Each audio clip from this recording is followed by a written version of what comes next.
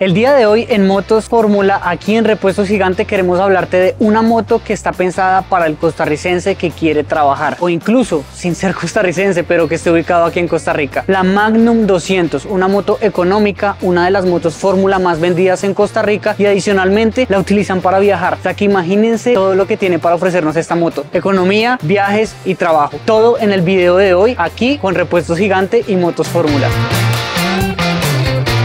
Ha llegado el momento de hablar de las especificaciones de una de las tres motos Fórmula más vendidas en Costa Rica, la Magnum 200, un motor 200 centímetros cúbicos que nos entrega 10 caballos de fuerza a 9500 revoluciones por minuto. Vamos a empezar un poco por el tema del consumo, pues tiene un tanque de 10 litros y hace un consumo de 2.9 litros por cada 100 kilómetros, es decir que estamos hablando de aproximadamente unos 320 kilómetros con un solo tanque. Si nos vamos ya a la parte de lo que debería preocuparnos, que es la frenada, tenemos disco adelante y tambor atrás, RIN 18 adelante, RIN 16 atrás, horquilla telescópica adelante, dos monoamortiguadores en la parte trasera. ¿Qué más tiene para presentarnos esta moto? En este momento la tenemos en la patilla lateral, pero también trae una patilla central. Me gusta mucho el tema de la luz trasera porque aunque podría verse un poco clásica, es muy segura, nos van a ver en cualquier parte. Y por eso es que la Magnum 200 de fórmula se considera una de las motos clásicas y va a estar siempre disponible para que ustedes no solo puedan trabajar, porque como pueden ver tiene una parrilla para que le pongamos peso y movilizar